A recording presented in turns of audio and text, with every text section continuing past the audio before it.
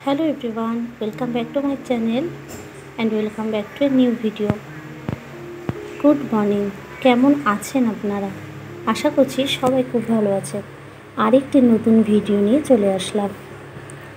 আজকে আমি আপনাদের সাথে morning bed cleaning routine share করব। আগের দিন আমি আপনাদের সাথে ডেলি ব্লগ শেয়ার করেছিলাম। তো ভাবলাম আজকে একটু অন্যরকম কিছু শেয়ার করি।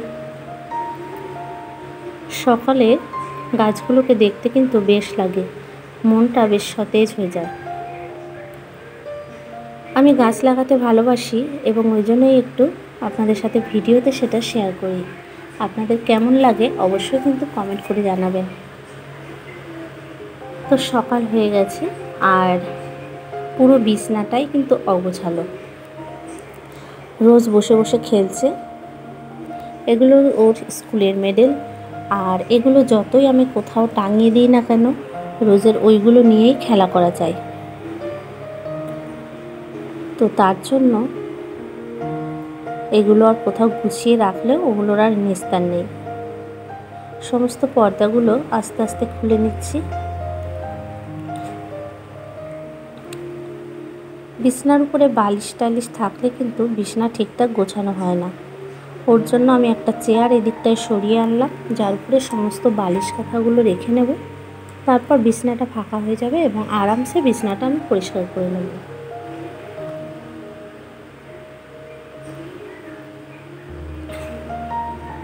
আমার রোজ কিন্তু নিজের মতো মনে মনে বক বক করতে থাকে আর খেলা করতে থাকে। নানান সময় গান করে, নানান সময় বিভিন্ন রকম কথা বলে নিজের মনে। আর আমার ফোন পেলে তো আর কথাই নেই। সেটা নিয়েই ঘাটতে থাকে। আর কার্টুন, বিভিন্ন রকমের এখন শর্টস আছে বাচ্চাদের, সেগুলো দেখতে থাকে।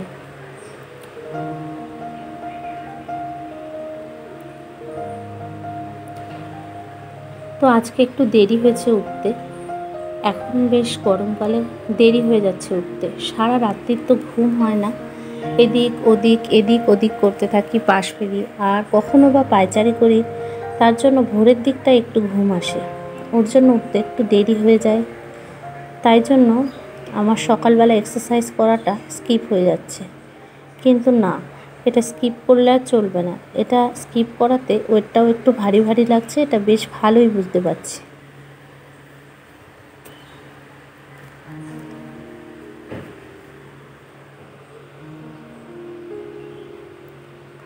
সমস্ত খাটের উপরে যে বালিশ, কাঁথা, চাদর যেগুলো আছে, ওগুলো সব আস্তে আস্তে আমি চেয়ারের উপর সরিয়ে নেব।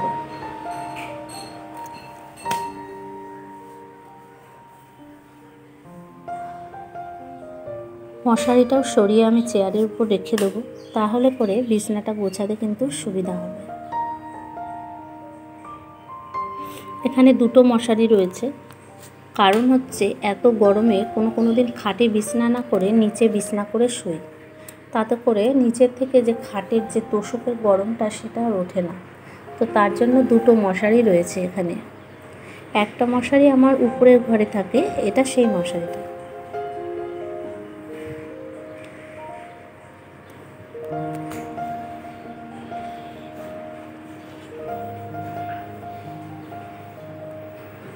তো খাটের থেকে সব কিছু আমি কিন্তু সরিয়ে নিলাম।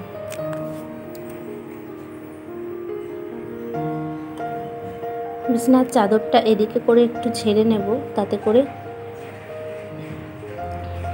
বেশ ভালো পরিষ্কার হয়ে যাবে ধুলো টুলোগুলো সব পড়ে যাবে।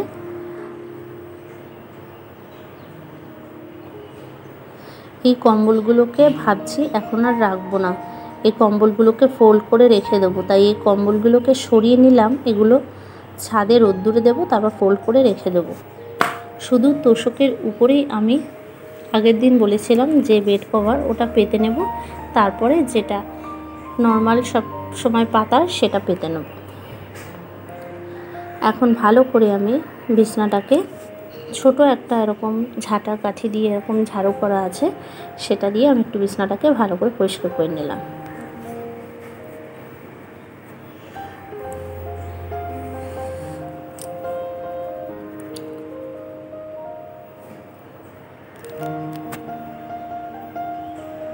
আজকে কিন্তু একটু ব্লগ দিতে দেরি হয়ে গেল।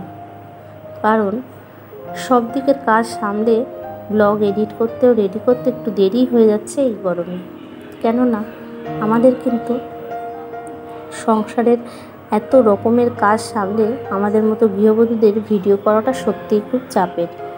তবুও আমরা নিজেদের মনের ভালো লাগার জন্য এবং আমাদের বন্ধুদের সাথে আমাদের লাইফস্টাইল শেয়ার করার জন্য বিভিন্ন রকম ব্লগ আমরা করে থাকি।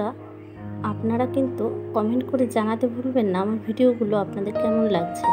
আশা করছি ভালো লাগছে। ভালো লাগলে লাইক কমেন্ট শেয়ার করবেন এবং আমার চ্যানেলটিকে সাবস্ক্রাইব করে আমার পাশে থাকবেন। আরও কী কী ধরনের ভিডিও আপনারা দেখতে যান সেটা অবশ্যই কমেন্ট করে জানাবেন।